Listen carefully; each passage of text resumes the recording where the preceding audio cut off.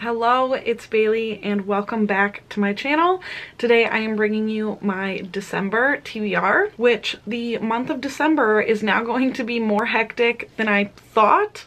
I mean, I've been prepared for it to be hectic, but stuff's getting real.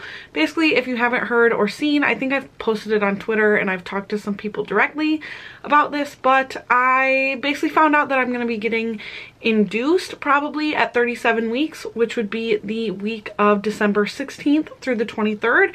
So right before Christmas. So my December in which I thought I would have most of the month to still like do a couple projects and then post my end of year content.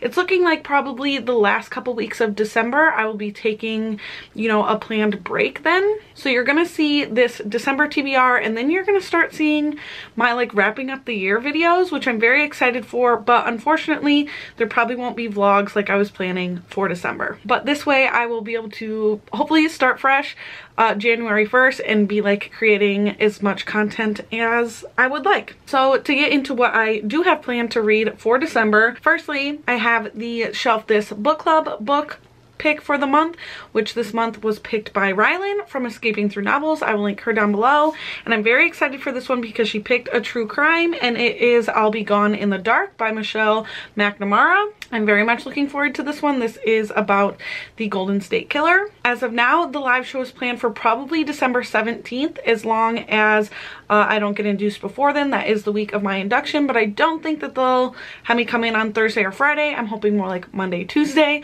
Uh, so that live show date is subject to change, but as of now, it is most likely going to be the 17th of December. And then after that, I do plan on participating in the historical romance readathon. I'm very excited for this round. I've been in a historical romance mood, so I'm like, I want to start these books now, but I grabbed two. I'm going to try to get a bingo on the bingo board, uh, but I did grab two of the things that I plan on reading, first of which being A Man to Call My Own by Johanna Lindsey. I pulled this one mostly because it is one of the only historical romances I had on my shelf that is a standalone I believe so I don't really want to be starting too many new series right before the end of the year so I thought I'd grab this one and I believe I'm using this for the prompt of blue on the cover it obviously works. And then I have one that I am highly anticipating, even though it is a first book in a series, and that is Love is a Rogue by Lenora Bell. I believe I'm using this for Rogue in the title, or maybe Enemies to Lovers? Not sure. One of those. like that's the bingo path I'm taking. Uh, so I'm very excited to get the, to this one. Obviously this would also work for blue on the cover. And then all month long, uh, Rylanne, who is also the host for the Shelf This Book Club, is hosting a readathon within her book club, which is the Book Boyfriends Are Better book club.